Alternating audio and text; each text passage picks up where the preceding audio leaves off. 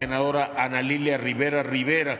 para presentar una iniciativa con proyecto de decreto que reforma el párrafo segundo y se deroga el párrafo quinto del artículo 1070 y reforma el artículo 1070 bis del Código de Comercio en materia de garantía de audiencia y justicia pronta. La senadora Rivera Rivera, como ustedes saben, es del Grupo Parlamentario de Morena. Adelante, senadora. Muchas gracias. Con permiso de la mesa, honorable Asamblea, mexicanas y mexicanos.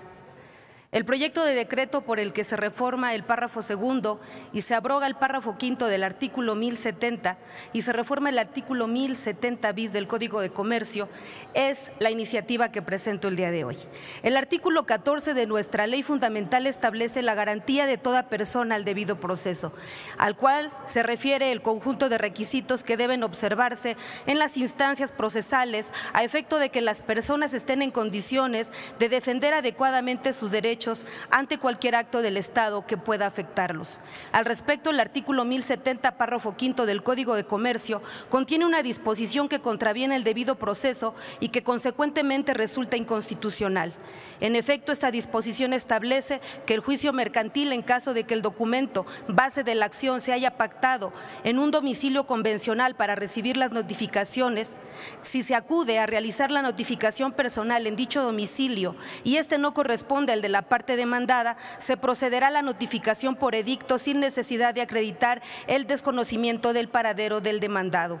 Esta disposición incide negativamente en la garantía de audiencia del demandado, ya que el emplazamiento se constituye como la primera y más importante formalidad esencial del procedimiento, pues permite que la parte afectada sea llamada a comparecer ante el órgano jurisdiccional a fin de que pueda defenderse correctamente de un posible acto privativo, teniendo a su disponibilidad información completa tanto de los hechos que se le imputan como del material probatorio existente. Por otro lado, el segundo párrafo del artículo 1070 de la misma ley mercantil señala que para la procedencia del emplazamiento por publicación de dictos bastará el informe de una sola autoridad o institución esta disposición es igualmente contraria al debido proceso, pues la notificación por publicación de dictos es una vía excepcional o de último recurso y el juez como director del proceso y responsable de la garantía de los derechos humanos de las partes no debe limitarse a pedir información a una sola institución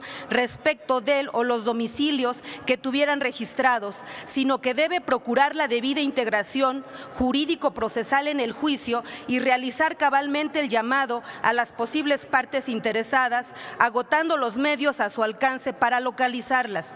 Finalmente, si bien es cierto que la garantía del debido proceso es un elemento indispensable para la impartición de justicia, también lo es que dicho elemento debe coexistir armónicamente con otros derechos fundamentales como el de acceso a una justicia pronta. Al respecto, es generalmente sabido que la sustanciación del trámite de emplazamiento por publicación de dictos es sumamente burocrático y tardado, en parte debido a que el Código de Comercio en su artículo 1070 bis le concede a las autoridades o instituciones que cuenten con registro oficial de personas un plazo hasta de 20 días naturales para proporcionar la información solicitada. Dicho plazo es excesivo y por lo tanto contrario al derecho humano de acceso a una justicia pronta reconocido en el artículo 17 constitucional federal, pues gracias a los sistemas informáticos de base de datos actualmente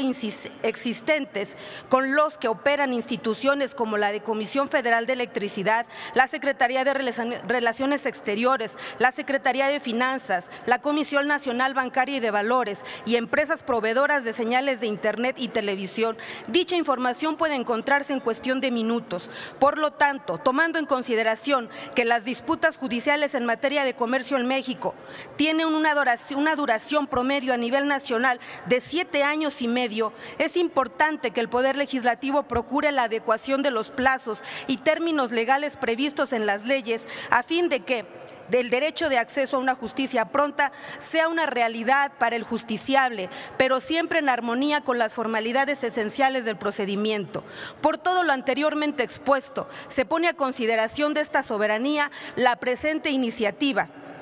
con el fin de que por una parte se garanticen las formalidades esenciales del procedimiento al imponer al juez el deber de agotar todos los recursos que estén a su disposición para verificar el desconocimiento del domicilio del demandado y solo entonces se proceda a emplazarlos por vía de publicación de dictos. Y por otra parte se garantice la impartición de una justicia pronta mediante la reducción del plazo para la sustanciación del trámite de acreditación de conocimiento de un domicilio pasando de 20 días naturales a tres días hábiles. Es cuanto, señor presidente. Muchas gracias. Senadora Ana Lilia Rivera Rivera, muchas gracias por la presentación de su iniciativa. Se turna a las comisiones unidas, se adhiere la senadora Guerrero. Antes de que la turnemos, operó rápido. Muchas gracias. La senadora Luévano, la senadora Jesús Rodríguez, la senadora Maribel Villegas, la senadora Claudia Edith Anaya, la senadora Lupita Covarrubias, el senador Doté, la senadora Gloria Sánchez, la senadora Lucía Mesa y el senador Gerardo Novelo se adhieren a la iniciativa de la senadora Ana Lilia Rivera Rivera, que se turna a las Comisiones Unidas de Economía y Estudios Legislativos, segunda. Tiene ahora la palabra la senadora Adriana Abreu